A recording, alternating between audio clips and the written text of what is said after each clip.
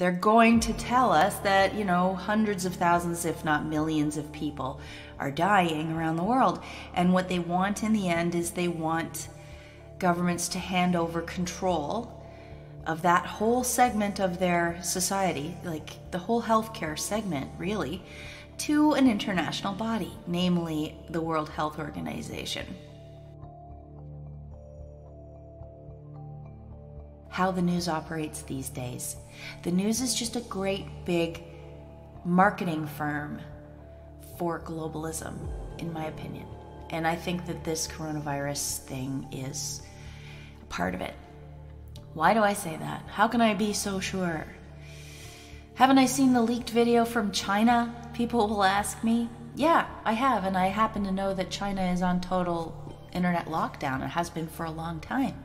So ask yourselves how so many videos got snuck out, got leaked. How did that happen?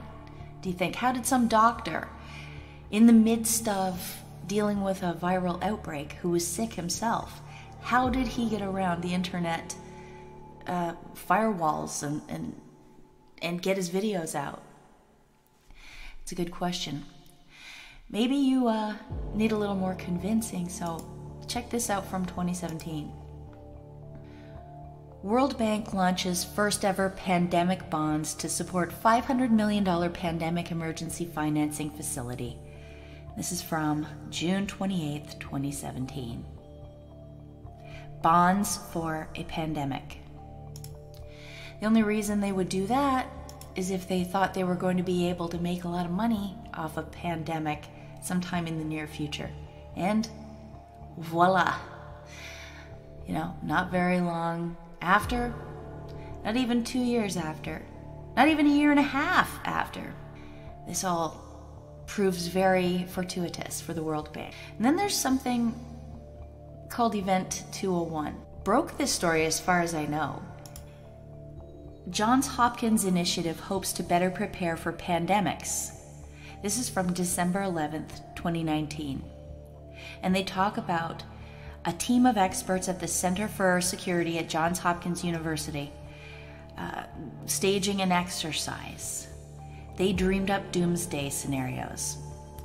It says for the most recent exercise called Event 201, which was held in New York City in October, the Center for Health Security partnered with the World Economic Forum and Bill and Melinda Gates Foundation to engage 15 leaders in business, government, and public health to model response to a worldwide coronavirus pandemic. It's something to take note of.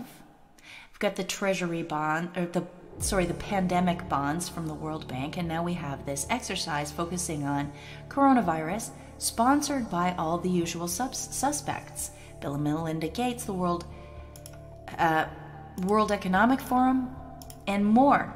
It included representatives from the UN Foundation, United Nations, the World Bank, China's Center for Disease Control and Prevention, the Central Intelligence Agency, the U.S. Center for Disease Control, and other leaders from travel, banking, pharmaceutical, and healthcare services industries. The United Nations Foundation, the Bill and Melinda Gates Foundation.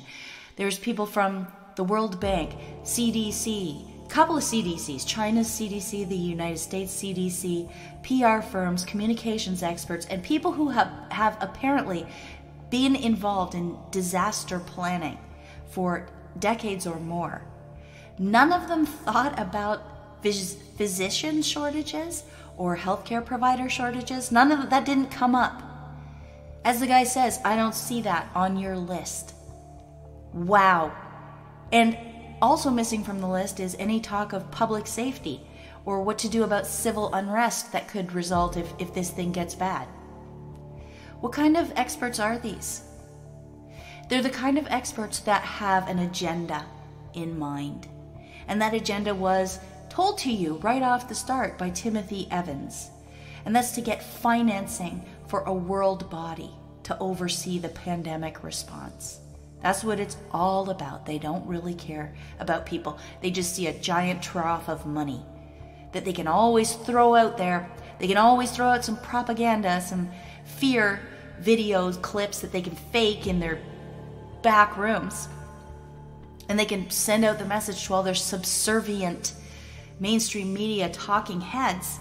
Look, tomorrow we're going to talk about the virus has got a hockey stick graph that it's spreading. It's going to spread to millions of people but, um, by a month from now. You notice them all saying the same thing? And by the way, this is a good place to uh, revisit the whole point about the name of the virus changing all of a sudden. Look at a blue check. David Gura.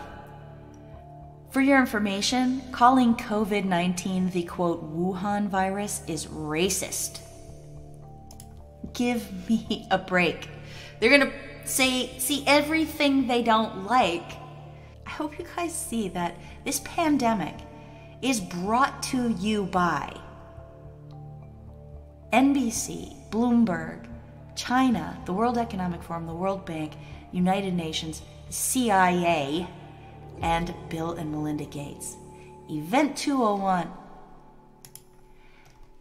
Their pandemic planning exercise that they did in October 2019, that made it out in that article in December 2019, and then boom, it happens in real life.